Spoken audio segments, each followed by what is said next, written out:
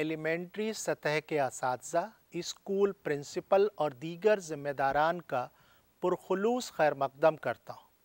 आज मैं आपको मॉड्यूल ज़ुबान की तदरीसियात से मुतारफ़ कराने वाला हूँ। ये मॉड्यूल ज़ुबान की तदरीस आमोजिश के बारे में है।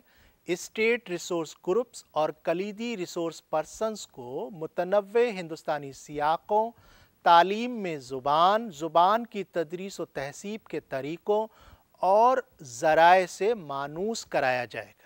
इस मॉड्यूल में उन सरगर्मियों और तफवीज़ करदा कामों की वजाहत भी की गई है, जो आमोजिश के इब्तदाई मराहल से आला प्राइमरी मरहले तक तलबा में ज़ुबान की सलाहियतों के फ़रोग के लिए क्लास में इख्तियार किए जा सकते हैं।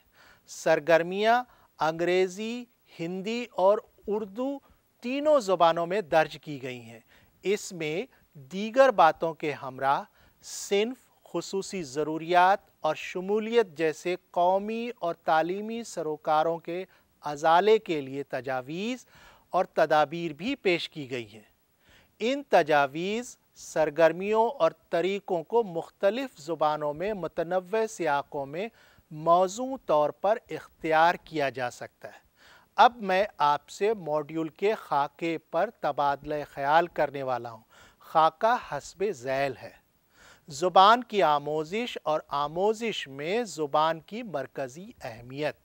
हिंदुस्तान में ज़ुबान की आमोजिश व तदरीस की हालतें। कौमी पॉलिसी में ज़ुबान। कसीर लसानियत। इसके बाद हम पहली, दूसरी और तीसरी ज़ुबान की हैसियत से ज़ुबान की तदरीस के बारे में बात करेंगे।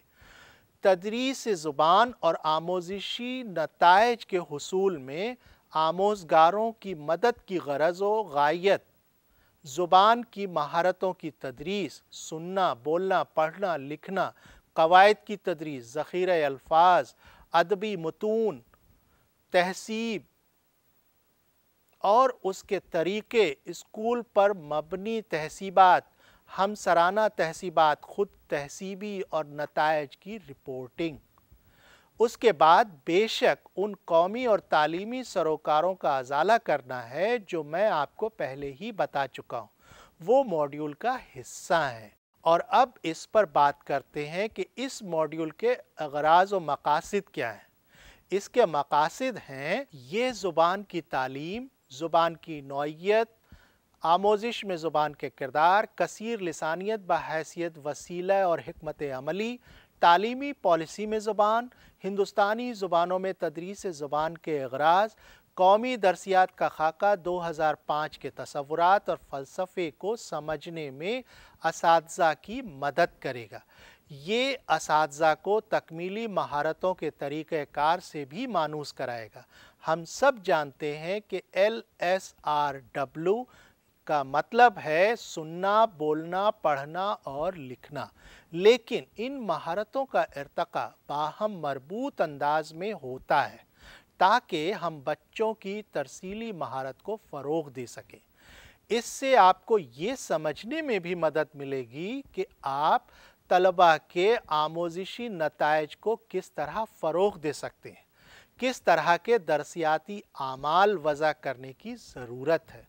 अब दीगर आमोजिशी अगराज इस तरह हैं।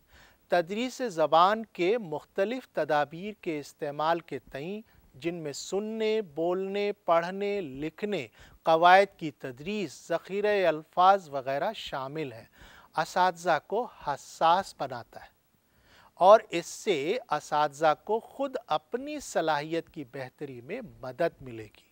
जो ही उनकी सलाहियत मुस्तहकम हो जाएगी, क्लासरूम के अमाल खुद ब खुद ठीक हो जाएँगे। दीगर आमोजिशी अगराज की तामीर उन ज़ुमराती सरोकारों से होती है, जिन्हें आप सब जानते हैं और फिर उसके तरीके को समझ कर मुसलसल अंदाज़ कद्र, स्कूल पर मबनी अंदाज़ कद्र और आमोजिशी माहसल की रिपोर्टिंग की तदाबीर को भी काम में लाएँगे। शुक्रिया।